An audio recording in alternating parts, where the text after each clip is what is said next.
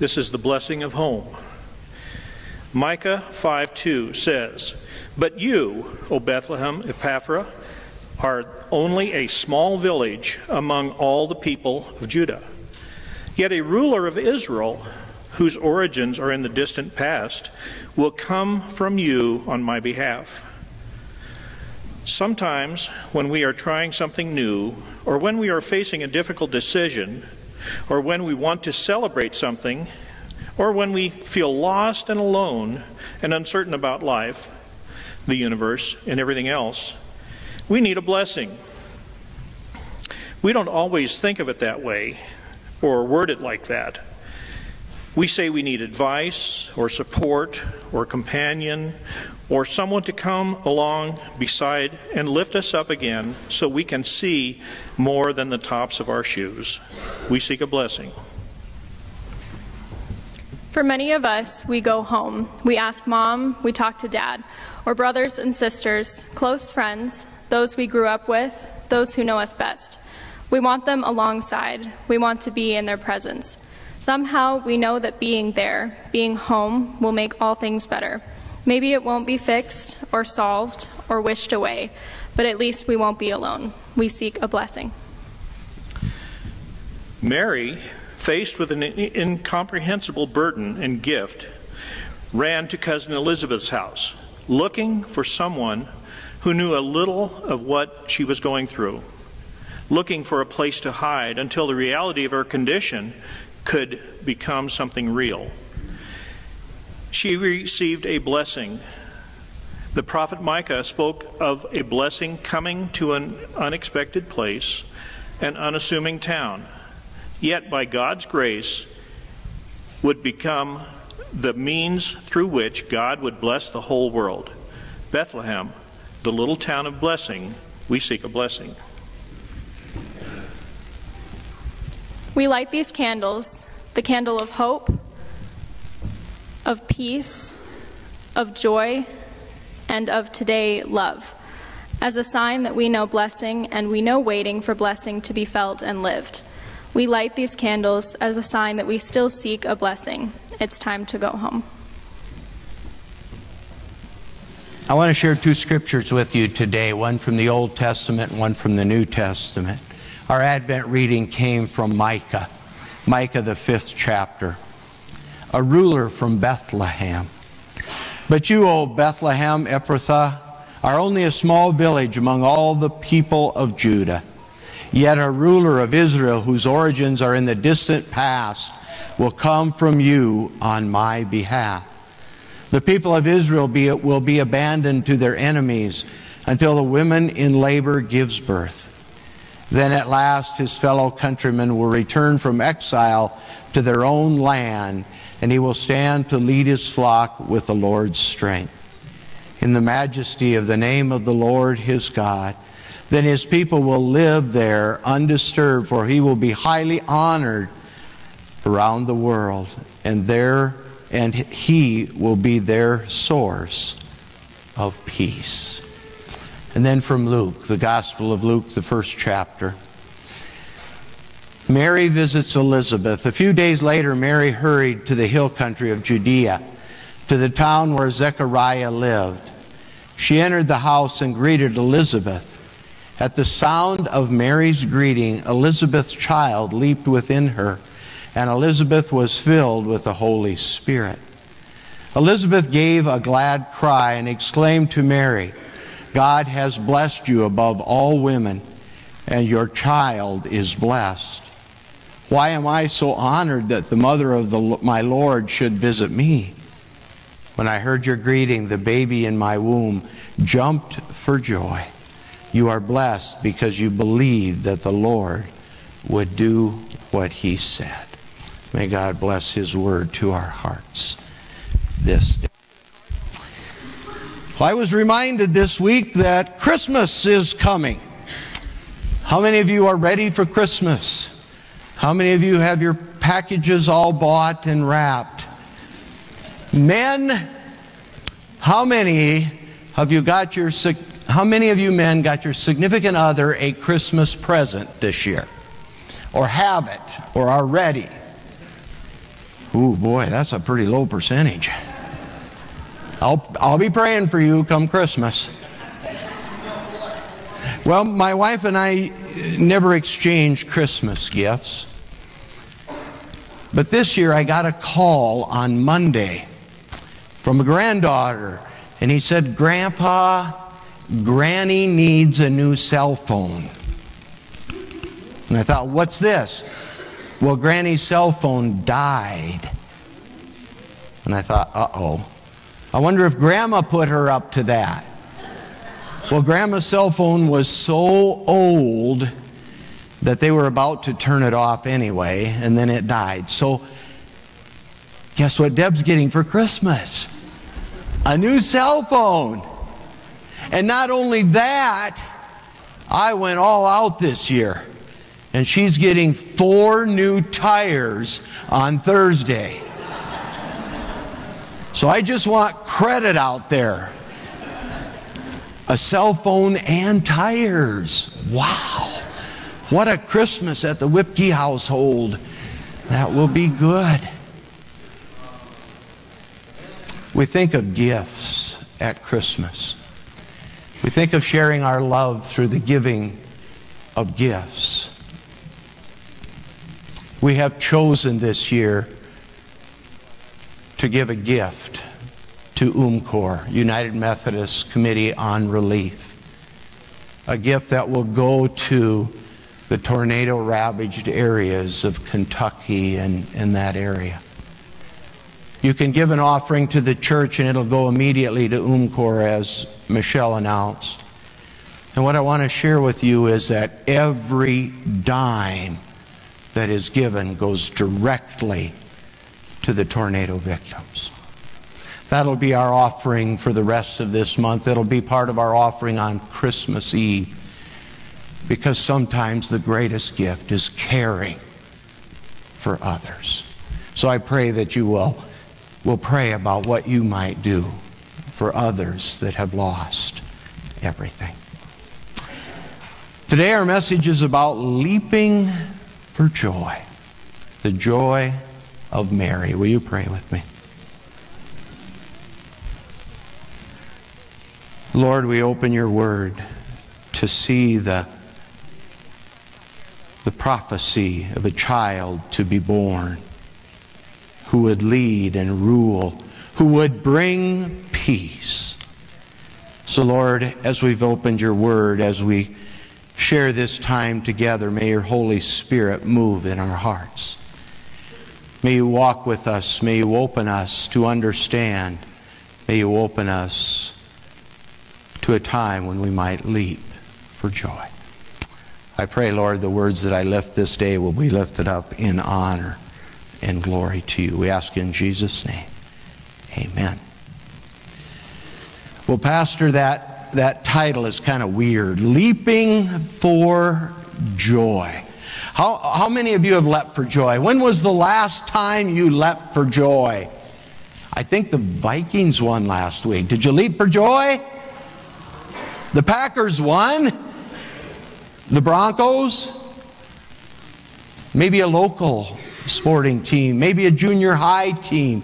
When was the last time you leapt for joy?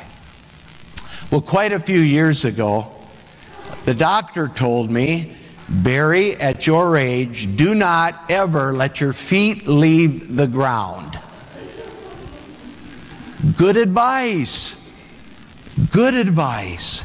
So I don't necessarily jump for joy anymore. I can't recall the last time I leapt.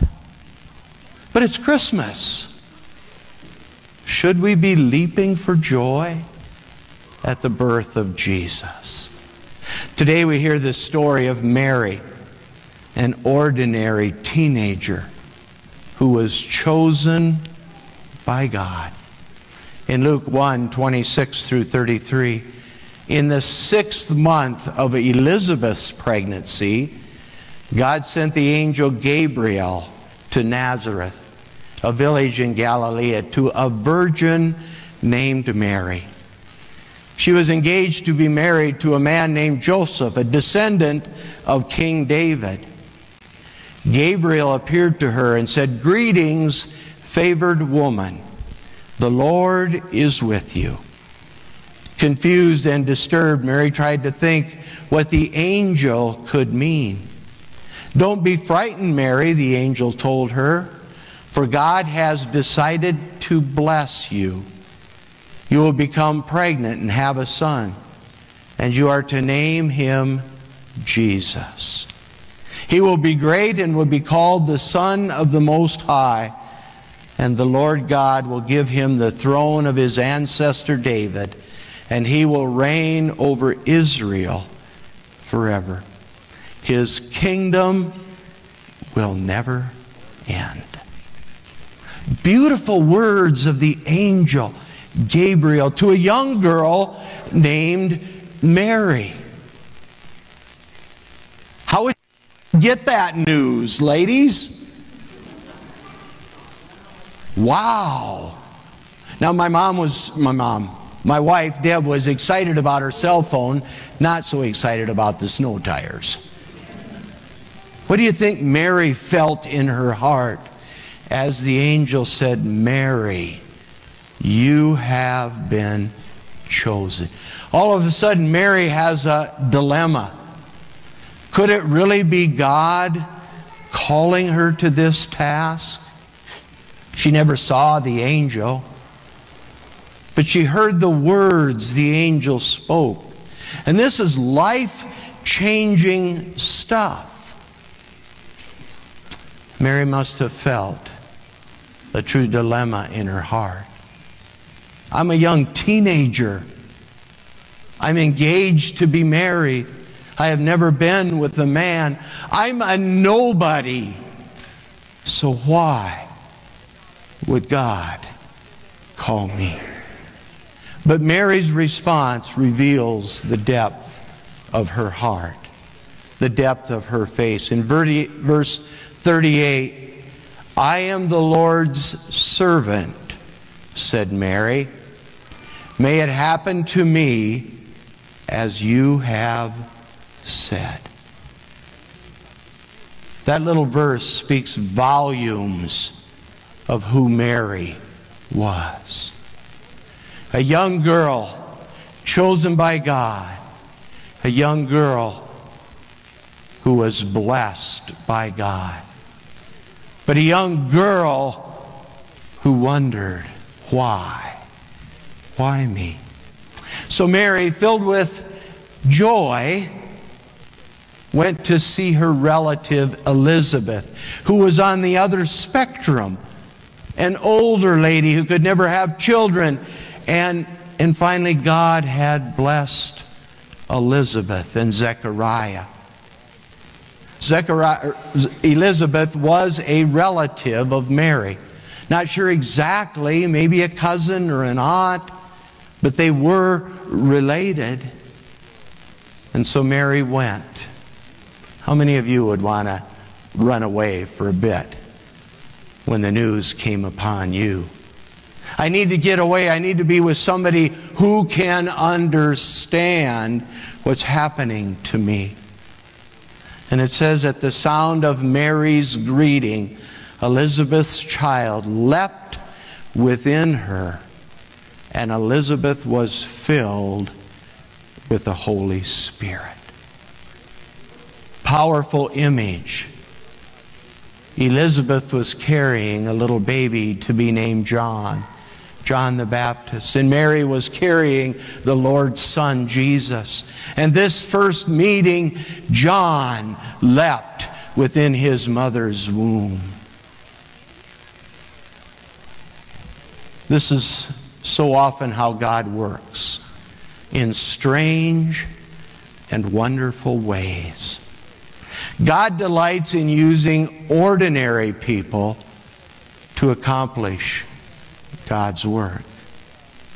We remember the story of the shepherd boy, David.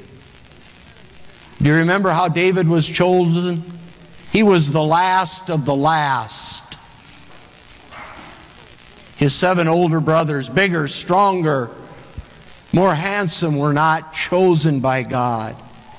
But David the little shepherd boy was chosen by God. For God does not look at the outside of our lives, God looks at the heart. And God chooses those whose hearts are open to be used.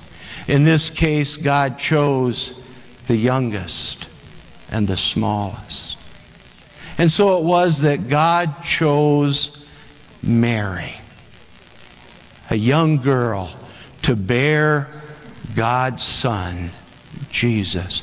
But even more important, Mary chose God. And that's the challenging part of our message today. For each one of us must choose God over all other things. So the question this morning is Have you chosen God this Christmas season? I want you to reflect on the this Christmas season. Have the events that you've participated in uh, been a part of or organized, do they bring honor and glory to God?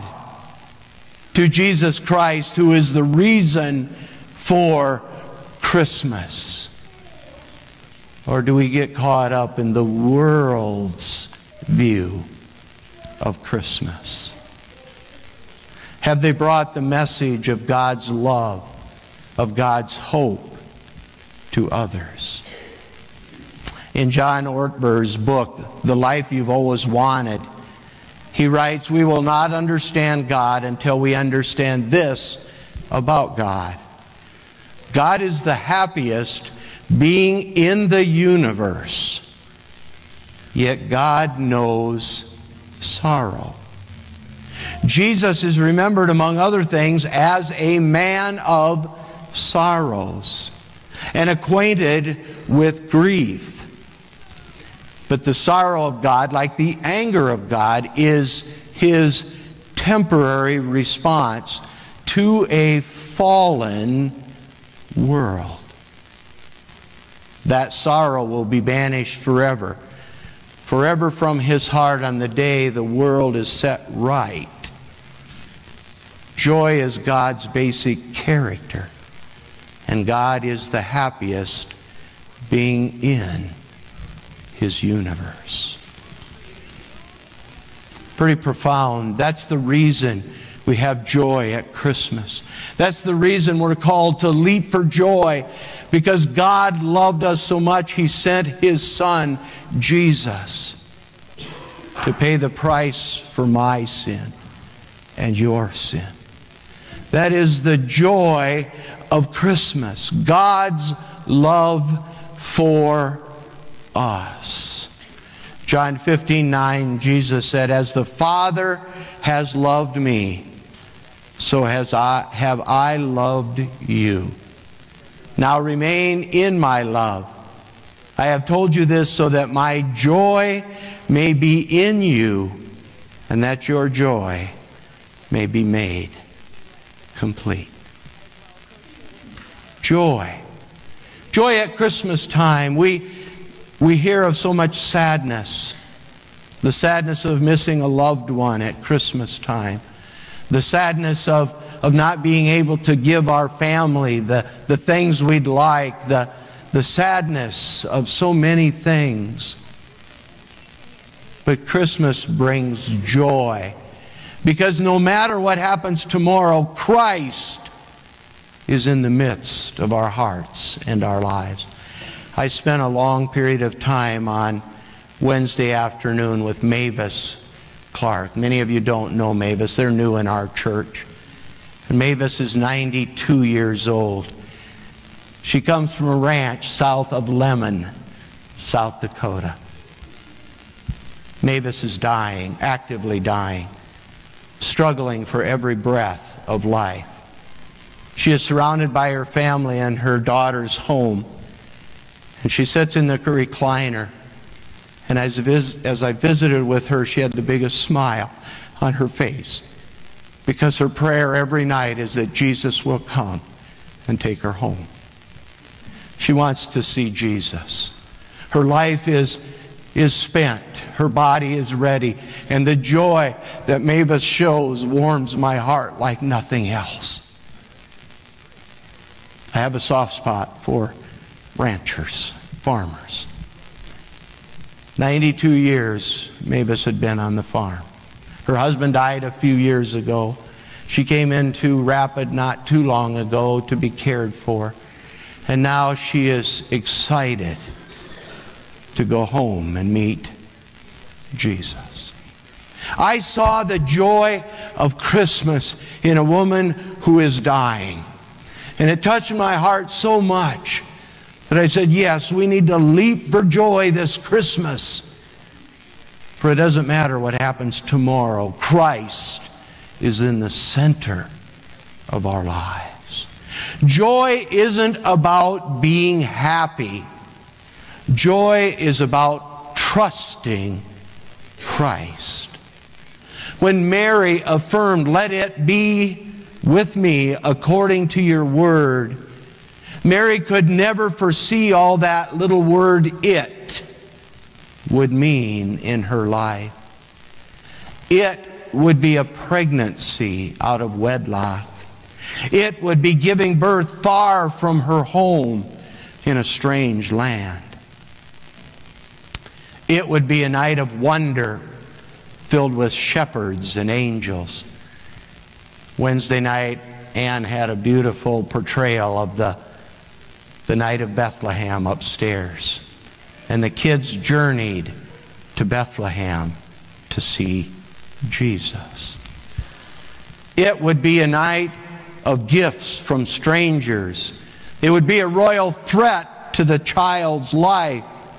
It would be fleeing to Egypt to save her family. It would be long years of seemingly simple, ordinary life. It would be three years of trying to understand the transformation of her son into the son, the son of God. It would be the horror of the cross, be the horror of a mother's heartbreak as she watched her son die. And it would finally be the glory of the resurrection. Realizing that Jesus brought life for all. See, Mary was chosen by God. She was not rich. She was not famous. She had no power. She was a very ordinary young lady. But her heart was filled with extraordinary love. A love that allowed her to set aside her wishes so she might live for God. I read a story of a king, a king's dream. A certain king had a dream. In his dream, he saw a huge pair of scales held in the hand of justice. The scales seemed to reach from earth to sky, and in one side of the scales was a pile of gold, jewels, lumber, houses, lands, and all the symbols of earthly power. And in the other side of the scale, was a nest of straw. The gold and jewels and houses and lands had tipped the scales down until the nest of straw was high into the air, and the gold laden side of the scale touched the earth. Then he saw in his dream a woman. A woman came from the sky with a baby in her arms. She put the baby in the nest of straw. And the king, in his dream, saw the scales immediately begin to move until the child outweighed the side loaded with gold, jewels, and houses. The side with the baby touched the earth, and the material side tipped to the sky. Mary foresaw that kind of tipping of the scales in the still unformed life of her baby boy. Mary, an ordinary young girl, said yes to her Lord. You know, God wants to do amazing things through each one of us. But even more important, God wants us to do the ordinary things of the kingdom of God. The important little things that touch others with God's love. God wants us to love Him. God wants us to love others. And most of all, God wants us to be obedient. God is waiting and ready to jump for joy when we say yes to His amazing love and His amazing grace. When we say yes, are we willing to set ourselves aside to live for Jesus Christ? Micah foretold the coming of Jesus 700 years before Jesus' birth.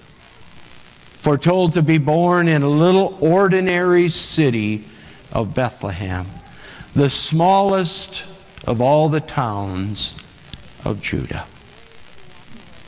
So, the question on this Christmas Sunday are you ready to leap for joy this Christmas season? For Jesus Christ will be born. We all love a birthday party, a celebration, but the celebration only begins as we await the coming once again of our Lord and of our Savior.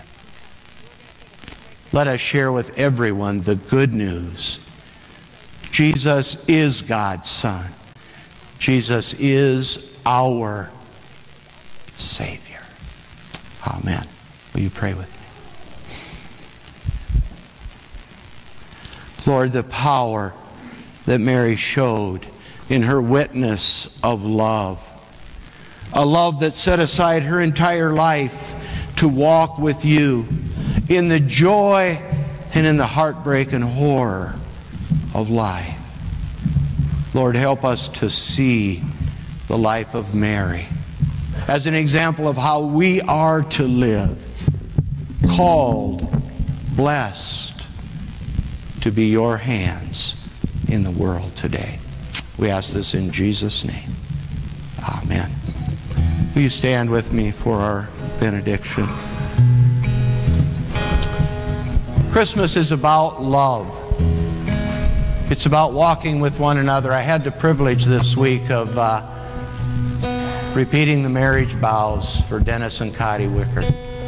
Been married 25 years on December 13th. What touches me is that they chose to come back into God's house and to say thank you for a love for 25 years. That's what God asks us to do is never fall out of love with Jesus Christ. No matter the challenges of life, no matter the disasters of life, no matter the joys of life, never fall out of love with God through Jesus Christ. I don't know if Mavis is going to make it till Christmas. And I know her prayer is to go be with Jesus this Christmas. But Mavis is in love with Jesus Christ. And with her dying moments, she praises her Lord and her Savior. May this Christmas be a Christmas where we focus not on us, but on the love that God has given through his Son, Jesus Christ. Amen.